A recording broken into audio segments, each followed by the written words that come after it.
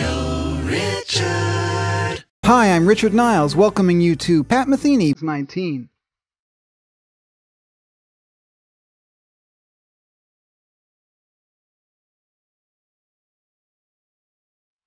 When he started gigging in local clubs with bassist Jaco Pastorius, we knew Pat was not in Missouri and we were definitely not in Kansas anymore.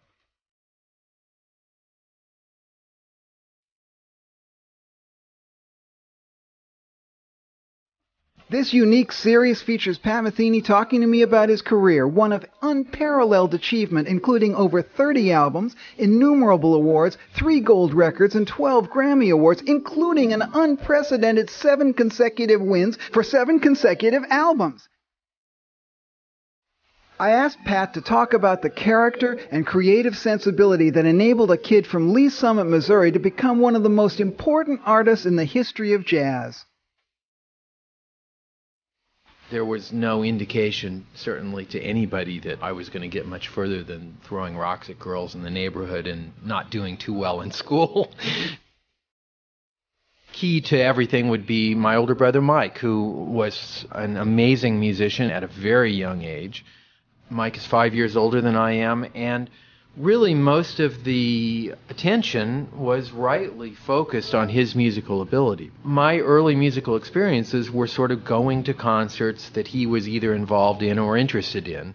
So it was all revolving around the trumpet. Trumpet consciousness in general would certainly be the formative mechanism for my entry into music. I started playing the trumpet myself with Mike as my teacher when I was about eight. There was also a moment in the fifth grade where they bring this machine into the school and they play like a very low pitch and a very high pitch and say which one is higher. and then they gradually bring the pitches together for me, it was sort of like, well, that first one, that was definitely higher than that next one. And I ended up getting, even when they got to the point where it was very close together, I got a really high score. In terms of my own personal sense of success in music, I remember feeling like, wow, that's pretty cool. And your parents were musical as well. Yeah, um, not professional, but uh, my dad was a very good trumpet player. I mean, he's got a great sound. He can really get around the instrument well. And my mom is an excellent singer with great pitch, a great sound. And her dad, my grandfather on my mom's side, was a professional trumpet player his whole life. He played a summer under John Philip Sousa. Hearing and seeing all that, watching my brother practice a lot, hours every day, was very formative and very important.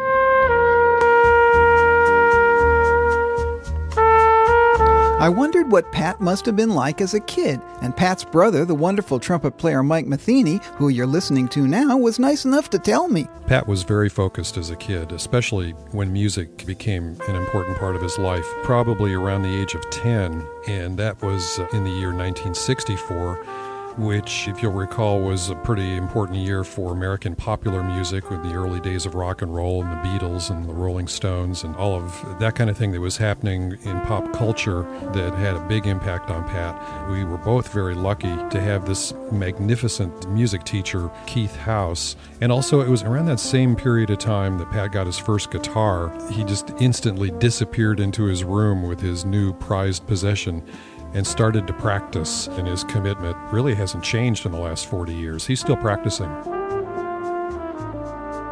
The jazz and blues scene around Kansas City back in those days in the 1960s, when Pat got to be a teenager, was really vibrant and alive. He was in a position to go to jam sessions and play gigs with some of the very best jazz and blues musicians in Kansas City. Pat has always been very generous when it comes to giving me credit as an inspiration, but I, have always maintained that he would have ended up being a great musician with or without me.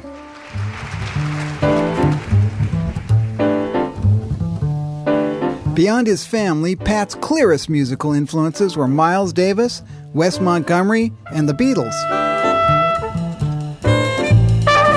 it all kind of kicked in for me right around 1963, 1964, which of course is when the Beatles and everything kicked in. And the guitar suddenly appeared in the panorama of all things that a kid might be interested in as a very significant cultural, iconic figure of something manifested in this incredible interest in the Beatles. That just kind of coincidentally intersected for me with prepubescent angst and all that stuff that starts to kick in when you're 10 or 11 years old. And kind of ironically, that was also a very interesting moment in time for world culture. I mean, literally, that's the moment that the world shifted from black and white into color. And for me, it was a literal thing. Along with that comes a certain amount of natural wanting to make yourself distinct from the world around you in the form of rebellion or whatever. And the guitar became something like that for me because the truth is, the last thing on earth my parents, my brother, anybody would have ever wanted me to do would be to play the guitar. The guitar, for whatever reason, in their consciousness, represented everything not so good. Turns out to be correctly identified with a major chasm in the universe at that moment, and I was attracted to it. You know, my present for sixth grade, if I got such and such score on such and such test, was the right to buy a guitar, because by that time I'd sort of lost interest in school anyway. You know, that was kind of the beginning of the end, or the beginning of the beginning. From that point forward, I literally became, I would say, a different person. When my brother brought home a record Miles Davis live called Four and More. Within the first five seconds of the needle touching that vinyl, my life was a different life. And all I wanted to know, and all I still really want to know, is what happened in those five seconds. What was that? As much as rock and roll might have offered me a window into rebellion against my parents and my brother and blah, blah, blah, it offered me a far wider window to become interested in jazz because not only could I rebel against all those people, but I could rebel against all my friends and everybody else I knew in my little town in Missouri as well. Plus, and this is maybe more important, whatever that music was, was fascinating and inviting in ways that I had never experienced before. Especially with Miles, he instantly became my favorite musician, and I would have to trace almost every attraction to wanting to understand something in that Miles quintet. And I have to also say there was something about Tony Williams, the way he was playing, the sound of the ride cymbal that had an immediate resonance to me in terms of what I was feeling in the culture. Even in Lee Summit, Missouri, there was something about the way he was playing that, in fact, truly did represent a major change.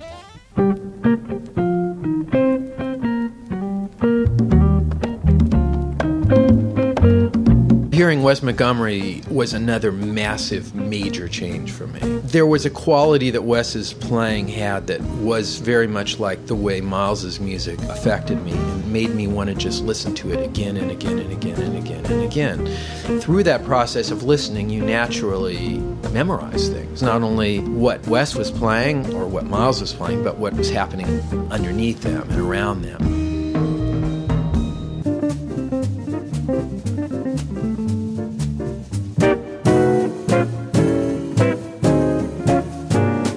There was one Wes record in particular called Smoking at the Half Note. That record became an incredible touchstone for me because I think that when I think about Wes or if I think about Miles, I would also describe those two guys as being the two guys who have left a sort of sonic residue that has pervaded all of music, not just jazz, since. And to me, there's only one other musician of recent times who I would include in that category, and that's Jaco Pastorius, in the sense that their sound went way beyond jazz. It was something you can't turn on the TV without hearing something that's reflecting that sound in popular culture. Plus, even in the most extreme nooks and crannies of the avant garde, that sound is also pervasive. There was just this depth to it, this sound thing. As much as people talk about experimentation in music, we all get quickly a picture in our mind of a certain style of playing almost. I would contend that the Beatles were among the most experimental of people that make records at the time. Wes, if you want to talk about marking your own time through a sound that could only be of your time, to me, his simple playing on some of those later records where he just plays the melody of like Windy or something like that, to me, it's much more avant garde in a way to be able to play a solo that's eight bars long, that's that deep, than it is to play 45 minutes of playing free. Of the mandates of the jazz form that is often overlooked is that it's a form that's quite unforgiving in its view towards nostalgia. I think it doesn't actually work. I don't think I've ever really heard somebody play in a style that precedes their time on Earth. It might be really, really good, but it's not going to make me not want to hear the people that did that first.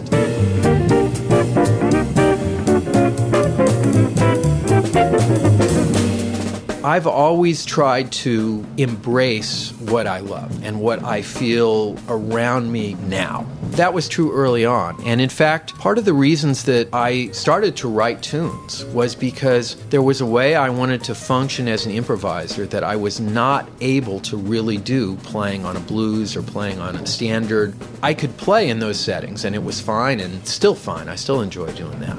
But there was a certain quality of something that I was not able to get to as an improviser until I started writing tunes that referenced everything that I loved, which includes a lot of qualities about having grown up out there in Missouri, a lot of qualities that are in fact related to what was happening in pop music at the time and certain things having to do with the guitar itself that just had not really been looked at and were fascinating and interesting and worthy to me. And yet, at the same time, my earliest success as a player around Kansas City when I was 13, 14 years old was under the auspices of sounding as close to Wes Montgomery as I could. I had braces on my teeth at the time. I played with my thumb, and I could do a good Wes Montgomery imitation the sense of acceptance and applause and sort of getting house and all that stuff that comes with that, even at a pretty early stage, there was something about it that bothered me. I knew as much as I enjoyed stepping into that guise, it wasn't really what I had to say. And there's another, maybe more important part of this, which is I love Wes so much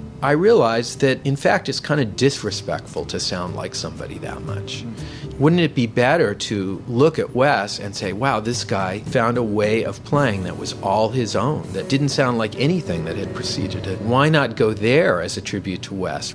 So there was a point where I just said, okay, I'm not going to do that anymore. You know, then there's a period of roughness, because that is, in fact, part of what your vocabulary is, but it was a worthy moment for me.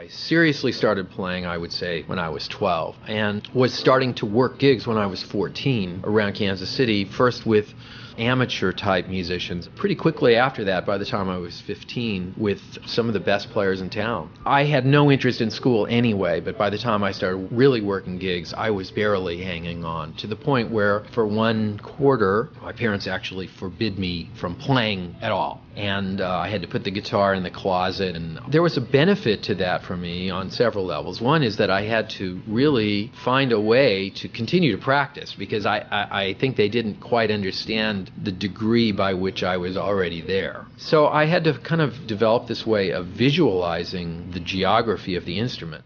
The other thing was that it became pretty clear to me, and I think even to them, that the train had already left the station, so to speak. There was no stopping any of this.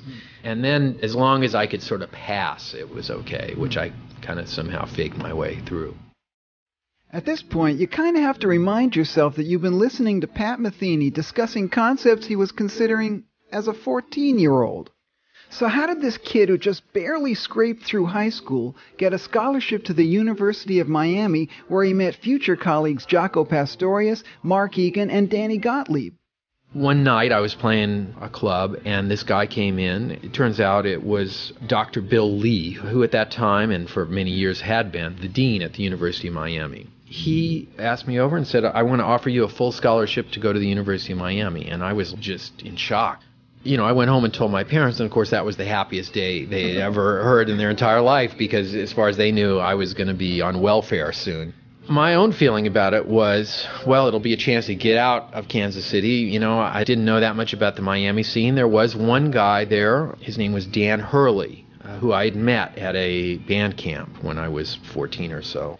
And he and I had stayed in touch over the years. And after literally three days of going to classes, I also realized I was basically illiterate. Since I was in the sixth grade, I was just practicing 10 hours a day and playing gigs. And I had faked my way successfully through school with the help of a couple girlfriends, but there was no way I was going to be able to fake this. It coincidentally happened that that same night I heard for the first time Jaco Pastorius, who was a musician around town. I'd heard about him. He'd even been in Kansas City and I'd missed him playing with Wayne Cochran a few months before that, but people in Kansas City were buzzing about him, and I was like, well, I got to go check this guy out. And it was everything that it could ever possibly have been and more. And we instantly became very close friends and started to do things together immediately. Dr. Lee came back to me and said, Okay, we want you to teach. The University of Miami had just opened up their doors to electric guitar as an actual instrument. And I did, at that point, have a lot of experience as a player.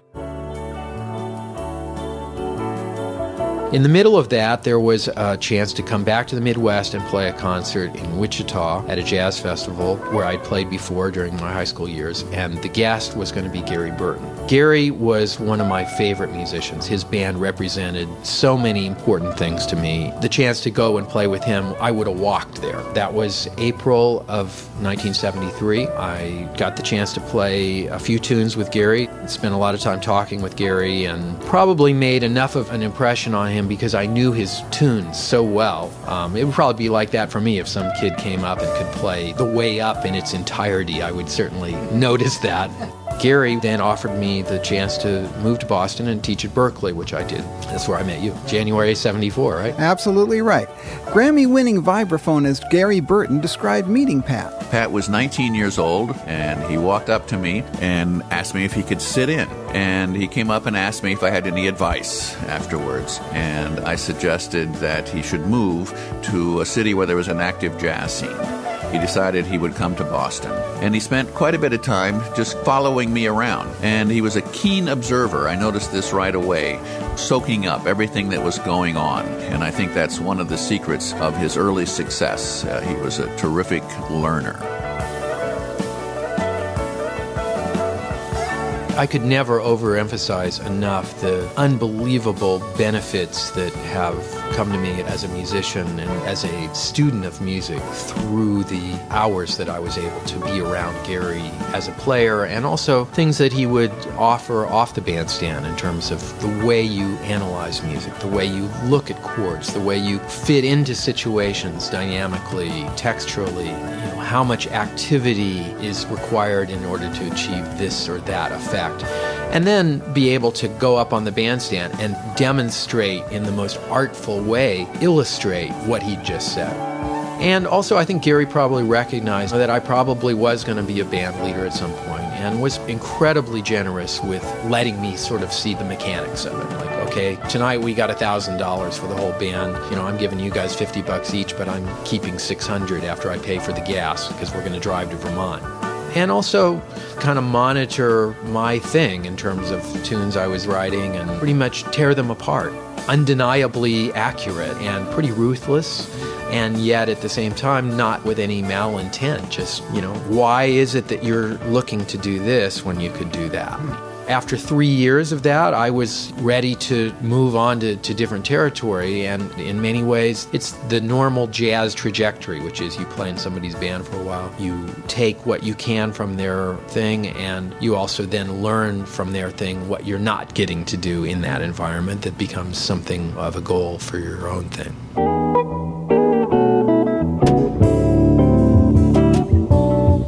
Through Gary, I was invited to make a record for ECM, which was an unbelievable opportunity. And I felt like, well, if I'm going to make a record, it may be the only record I ever get the chance to make. So I really want to make sure that it's an accurate statement about what I really believe. I knew I didn't want to make a record of standards, and I knew that I didn't want to do a whole bunch of things. It was kind of a process of then carving away everything and seeing what was left that I did want to do. I can't really say too much more than what Bright Size Life is. That is a very accurate picture of where I was at at that moment, that in many ways reflects things that I still believe to be true. And I'm happy to be able to say that. I think that many people look back on their first record and think, oh man, what was I thinking? I still can play all those tunes and I still go, yep, that's that's kind of right. That's sort of what what I feel about that. Even though I didn't really think that I played that good that particular day, and of course those were one day records, there were many things about it that I felt were kind of new territory, and we felt so strongly about what we were doing as a trio that became the platform for me to leave Gary and start my own band, something I wasn't really that excited about doing. But the truth is, there were very few sideman opportunities for me at that time that had the kind of opportunities musically that I was searching for. Another crucial element in the launch of Pat Metheny's career was his meeting with Lyle Mays, his collaborator for over 30 years within a few minutes of hearing him, it was like, well, we should play together. You know, I mean, that's one of those things where you recognize a brother or a kindred spirit immediately. And much like with Jaco, we hooked up very quickly. And literally, I can remember the first notes that we played together. And whatever the core of the Pat Metheny group sound is and has been ever since then was there. It was there in the first four bars. You know, as much as people think we've really worked something out, a lot of it is just the way we play together together. And that became and is still a fundamental platform of what the group is. The group has always been a real great spot for investigation research. And the kind of collaborative work that Lyle and I have done often is sort of in a very blurry area between composition and arranging, where we're taking material and sort of processing it through our individual and collective sensibilities to where we're really kind of asking the material what can it be? What else can it be? There's a certain point when we're working together where i couldn't really say this is me and this is lyle. It's us and it and we're interviewing it and, and mm-hmm. it's telling us things, you know. And we rarely disagree about what it should be. And at the same time, we have different strengths with a huge amount of overlapping. We have a lot to talk about. We've always had a lot to talk about, and we continue to have a lot to talk about. Well, how was it for you, Lyle? Now, it was exciting because I thought I heard in the first few notes that I heard him play a sensibility that I could really relate to. We have a shared aesthetic in so many areas on, on so many levels there's never really been a pattern. The process is continually evolving, which may be part of the secret to its longevity. It stretches from complete independent development of material that then is presented to the other person to sitting down as close as we are, hammering out note by note what a passage is. There have been many other notable collaborations in Pat's career with Charlie Haden, Ornette Coleman, Michael Brecker, and Jim Hall. His most recent was with pianist Brad Mehldau, which resulted in two albums and a tour. Uh, when I first heard Brad, I literally almost had a car accident. It was sort of everything that I had been hungering to hear from a young musician. All the things about melodic development and playing with that kind of great time and imagination, and mostly having such a strong point of view of music that was rendered with all this artistry was just what I had been hoping somebody was going to come along with. It's so rare to get somebody playing that instrument with such a, a unique, modern, and innovative conception. I recognized right away in Brad that he was shooting for and achieving many of the ideals that I had set for myself. Between the two of us, we had 24 pieces of music to record it just kind of worked out that we ended up with 12 tunes that were duet tunes, 12 that were quartet tunes. And we've recently been touring. It's been incredibly uh, exciting and I think really successful musically and an incredibly enriching experience in my life as a musician.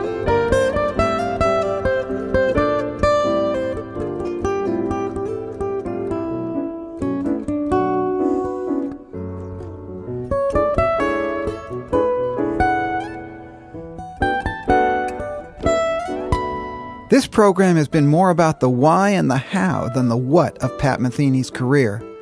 Although the public only sees the end result, the recordings, the concerts, and the awards are only the facts of his accomplishments. But here Metheny reveals why he was driven towards music with a stratospheric drive and dedication highly unusual for a preteen. We've also seen step by step how he set and achieved each of his demanding goals. Next week's program will further examine the inner workings of the creative mind, focusing on the concepts and methodologies that have made Pat Metheny one of the most fascinating musicians of our time. I'm still Richard Niles saying thanks to Gary Burton, Lyle Mays, and Mike Metheny, to my production assistant Yannick Gwizdala and mixing engineer Peter Dale. Niles Productions would like to thank the very executive producer David Morley and all at Above the Title. Thanks most of all to Pat Metheny for giving his time so generously, offering us a unique insight into his bright size life. Radio Richard.